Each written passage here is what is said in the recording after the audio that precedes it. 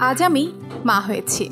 আপনারা আমার সন্তানের জন্য একটি সুন্দর নাম রাখুন। ঠিক এই ধরনের ফেসবুক পোস্টে যেন মন্তব্যের ঝড় বয়ে যায়। কমেন্টে জমা হয় হাজার হাজার নাম, তাই না? কত শত মানুষের ভালোবাসা ও চিন্তা প্রকাশ পায় শুধু একটি নামের মাধ্যমে। কখনো কি ভেবেছেন এই নামকরণ হতে পারে কারও বিশেষ পেশা? শুধু সঠিক নাম খুঁজে দেওয়ার মাধ্যমে মানুষকে আনন্দিত করে আপনি হয়ে উঠতে পারেন বিনা পুঁজিতে কোটিপতি। ভাবছেন, এ আবার কেমন পেশা?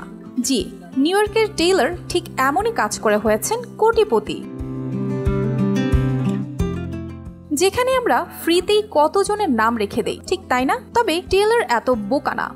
তিনিও বাচ্চাদের নামকরণ করেন, তবে তা মোটা অঙ্কের অর্থের বিনিময়ে। তেত্রিশ বছর বয়সী নিউ ইয়র্কের বাসিন্দা টেলর সদ্যজাত বাচ্চাদের জন্য নিখুঁত এবং মানানসই নাম খুঁজে বের করাই তার নেশা এবং পেশা। শুধু নামকরণ করার জন্য তিনি নেন আঠারোশো ডলার পর্যন্ত। টেইলরের কাছে আসেন হাজার হাজার অভিভাবক। সন্তানের জন্য একেবারে ইউনিক এবং যথাযথ নাম খোঁজার আশায়।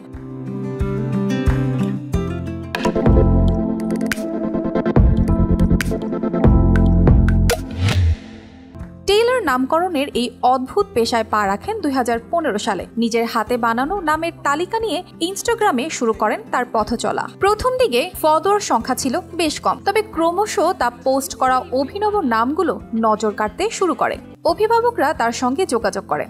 তাদের সন্তানদের জন্য একদম মানানসই নাম চেয়ে পরামর্শ নিতে শুরু করেন।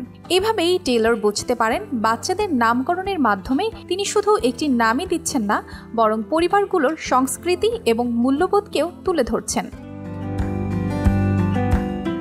টেলর জানান, দুই হাজার বাইশ সালে তিনি একশোটিরও বেশি বাচ্চার নাম ঠিক করে দিয়েছেন। তার পরিষেবায় অভিভাবকরা ফোনে তার সঙ্গে আলোচনা করার সুযোগ পান এবং সঙ্গে পান একাধিক নামের তালিকা। যা তিনি প্রস্তুত করেন অভিভাবকদের পরিবারের ইতিহাস বিশ্লেষণ করে। এই পরিষেবার জন্য তিনি সাধারণত নেন দুই লক্ষ ডলার পর্যন্ত। তবে যারা আরও বিস্তারিত এবং কাস্টমাইজড পরিষেবা চান, তাদের জন্য বিশেষ অফার নয় হাজার ছয়শো চুয়াত্তর ডলারের বিনিময়ে টেইলর অভিভাবকদের ব্যবসা বা পেশার সাথে মিলিয়ে একেবারে নিখুঁত নামের তালিকা দেন। দর্শক তাহলে টেইলরের সাফল্যের এই গল্প থেকে কি শিখলেন? যে ফ্রিতে আর নামকরণ করা যাবে না। তাই তো? জানাতে পারেন আপনার মতামত।